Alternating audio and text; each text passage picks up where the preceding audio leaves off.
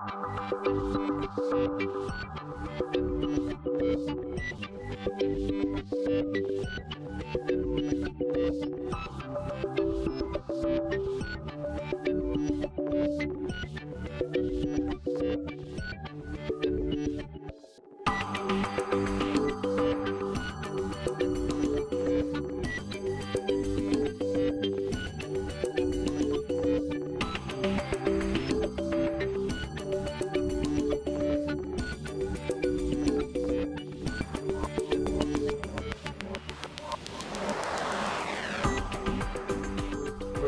have uh, Martin Freeney, who is the creator of Earthship Ironbank.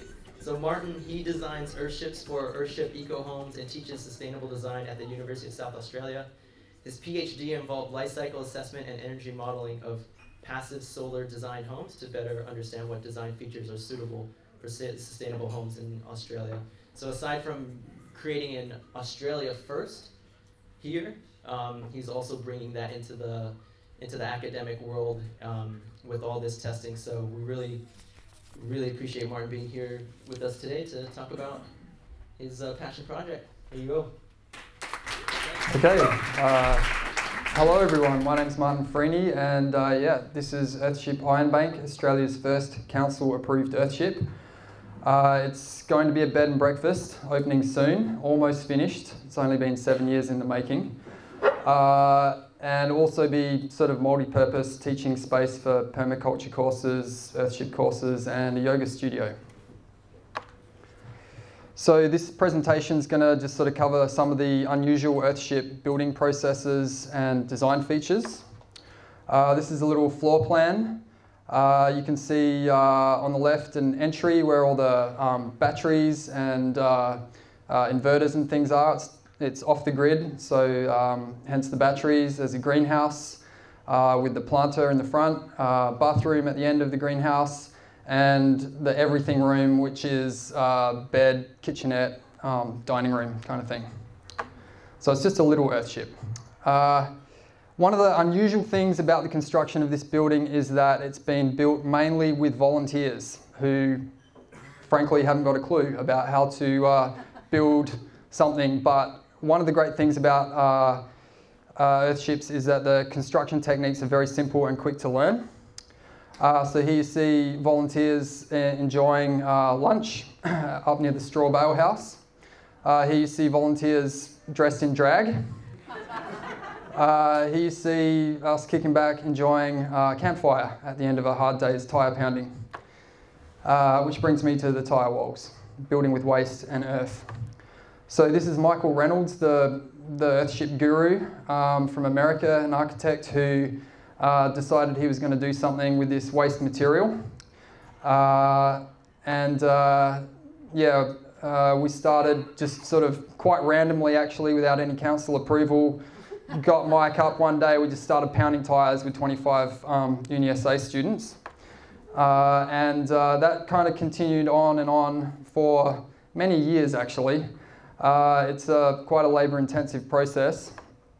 Um, but my mate Sam, who's in the middle there and in the crowd tonight, he's started a company called Earth and Tyre. They use pneumatic rammers to pound the earth into the tyres. That makes it a lot quicker and uh, actually more reliable. The walls don't settle as much and that kind of thing. Um, here you see a tyre wall with some formwork on the top. Um, you put a concrete beam on the top of the tyre wall to make it super strong um, to resist the forces of the earth behind it because it all gets backfilled, providing thermal mass and stable indoor temperatures. Uh, that's a rendered tyre wall there um, with a little uh, uh, ferro cement vault in the back that's insulated with hempcrete. In fact, it was quite an experimental building, trying all sorts of weird and wonderful things. And um, this, of course, is, is why we're building with tyres because they're a diabolical kind of waste um, product of our in industrial society. Um, we could actually build about 40,000 Earthships a year in Australia alone with all the waste tyres. I think that's about half the homes we build each year in Australia, roughly. Um, uh, so yeah, ferro cement vaults and green roof, which is a quite a bushfire proof roof. We are in a really high bushfire uh, danger area in the Adelaide Hills. Um, here you see uh, volunteers uh, tying mouse wire onto the rebar uh, frame, which we call a bird cage. And there you see the bird cage actually on the tyre wall and all the rebar prepped for a concrete pour for that bond beam. Uh, here you see us propping that, um, that bird cage, getting the right shape to the vault. That shape is inherently very strong. Uh, so you don't actually need a lot of uh, concrete up there to um, resist the forces of the, the earth roof that we've put on top. That's the first spit coat, we call it, just a cement mortar that goes onto the mouse wire, all propped quite heavily, finishing coat of uh, the cement render. And here we've um, actually topped that vault with about 15 tons of earth uh, to make it flat. And here we're putting some polystyrene insulation on. Everyone was writing their, uh, you know, good wishes, whatever on there, drawing alien heads and things. Um, and here we're celebrating the, the, um, the finish of building that roof. We topped it with gravel. Uh, and that's, that was a photo taken today. And uh, yeah, that acts as a really good filter for rainwater and as I said previously, really bushfire resistant. Um, and that little box at the back is where all the water drains into, just feeding rainwater tanks. It's sort of off-grid with water as well as energy.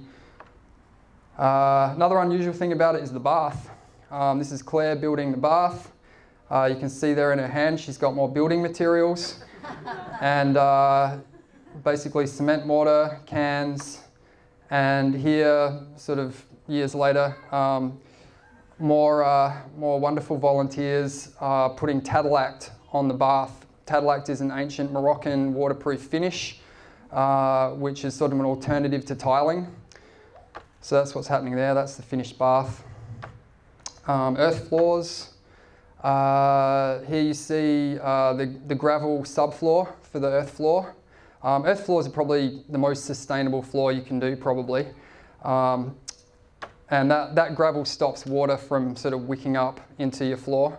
And there you see road base on top of the gravel and then the, um, the adobe or cob um, earth, sand and straw mixture or clay, sand and straw. And here, this is not a spill, this is um, putting some uh, linseed oil uh, on, the, on the floor to seal it, waterproof it.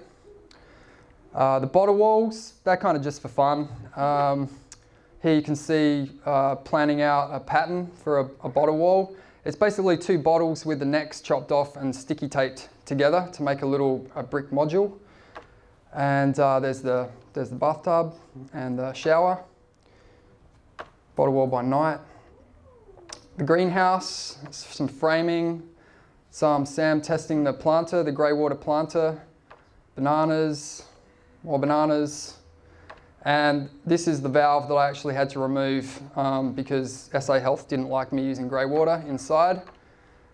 Batteries, inverters, and the earth tubes which bring in sort of um, passive air conditioning year round and I'm running out of time but that's the uh, that's the earth tube cupboard. There are the earth tubes inside and there's some of my great graphs showing how wonderfully it's performing.